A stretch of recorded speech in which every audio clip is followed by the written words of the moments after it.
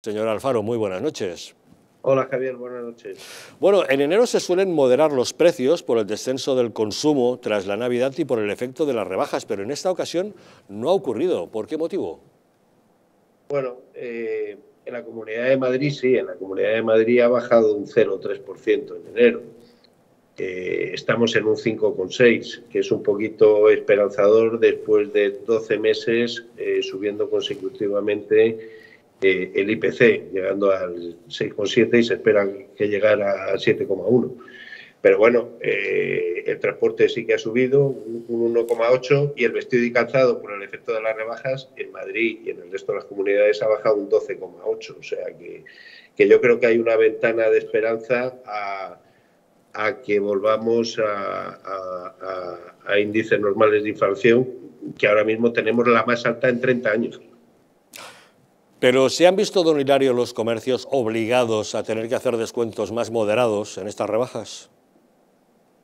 Bueno, eh, han sido unas rebajas eh, que yo creo que, que, no ha habido rebajas, igual que tampoco las hubo el año pasado, el año pasado por Filomena, pero este año eh, el comercio tampoco tenía mucho stock, puesto que no sabíamos si después de la cuarta ola vendría la quinta y después de la quinta la sexta y luego llegó Omicron.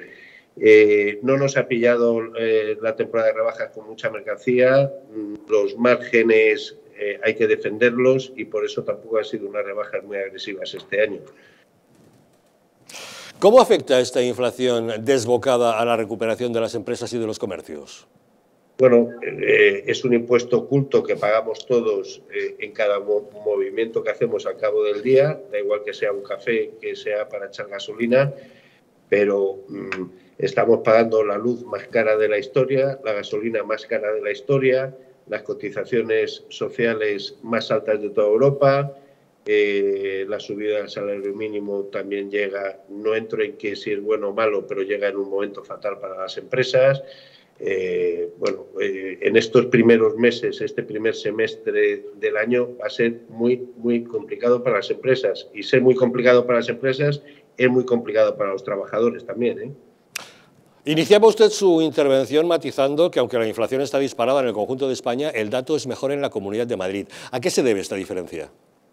Bueno, yo creo que es un mercado mucho más libre eh, y mucho más competitivo que en, otras, que en las otras 16 comunidades. La Comunidad de Madrid eh, se está separando en cuanto a la economía de, las otras 16 comunidades y por eso ahí está el resultado, que el 64% de la inversión que llega a España llega a Madrid. Eh, bueno, tenemos, eh, pagamos un montón de impuestos en Madrid. En Madrid es que parece que no pagamos impuestos, en Madrid pagamos un montón, pero es que en otras comunidades pagan mucho más y lo que hacen con ese dinero es mucho menos eficaz que en Madrid yo creo que podían copiar el sistema fiscal de Madrid en las otras 16 comunidades. No puedo desaprovechar la oportunidad para preguntarle su opinión acerca de la reforma laboral. Al margen del escándalo de la votación del disputado voto del señor Casero, eh, ¿qué le parece esta reforma laboral que ha aprobado el Gobierno? Pues quitar, quitando esa, esa historia que me parece surrealista como a todos, eh, yo creo que nos podemos quedar dar con un canto en los dientes con la reforma laboral que ha habido, ¿eh?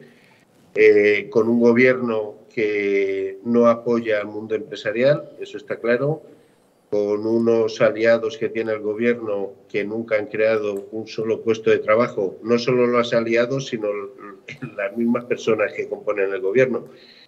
Y poner en duda un acuerdo que llegan eh, trabajadores, los sindicatos y la patronal, eh, no sé qué pintan los políticos metiendo mano a un acuerdo que llegan por partes y que garantiza la paz social. Eh, no es lo que necesitamos para crear y defender el empleo, pero las promesas que había de una reforma total de, de, la reforma laboral del 2012, que ha, demostrado que ha sido eficaz, y no es que lo digamos nosotros, sino que lo ha dicho Europa también, podíamos haber tenido un escenario muchísimo peor. ¿eh?